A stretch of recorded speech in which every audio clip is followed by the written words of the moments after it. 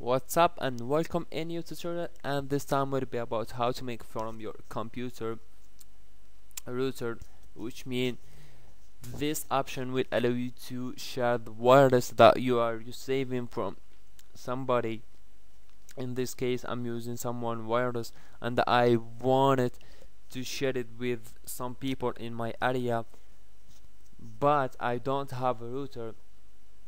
And uh, some people think there is no way to do it. So first thing you need this you need this software go to this website with link in description and press download. When you finish download and installation of the software it will appear and it's look like this. Go ahead and run this software. Okay when you run this software it's so simple. First thing network name and this is the name of the wireless.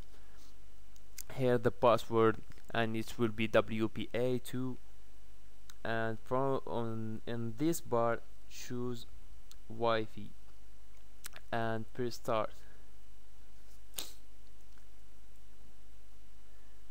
When you share the wireless in this tutorial I'm using a virtual machine just to show you that it's uh, working perfect.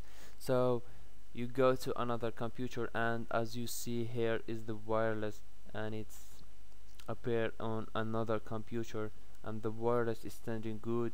So just go ahead and connect to this wireless. Uh, so guys if you like the video don't forget subscribe like share with your friend. See you next time